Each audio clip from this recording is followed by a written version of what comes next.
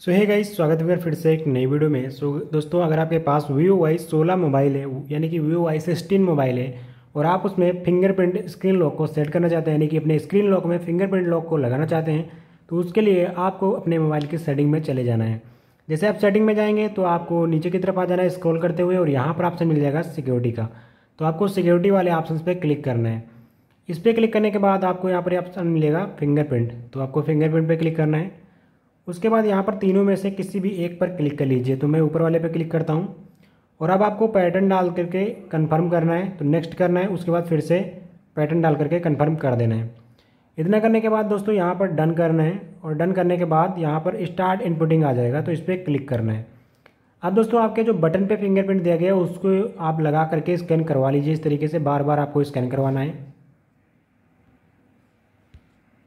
तो जैसे आप इसको करवा लेंगे, उसके बाद यहाँ पर डन का ऑप्शन आएगा तो आपको डन पर क्लिक करना है। अब यहाँ पर ऐड फिंगरप्रिंट पर क्लिक करके आप दूसरी वाली फिंगर को भी ऐड कर सकते हो। अब गाइज़ मैं आपको दिखाता हूँ, आपके स्क्रीन में फिंगरप्रिंट लॉक लग चुका है। तो यहाँ इसको मैंने ऑफ़ किया और देखिए, ये लॉक लगा हुआ है और फिंगर लगाते ही ये ऑन हो गया।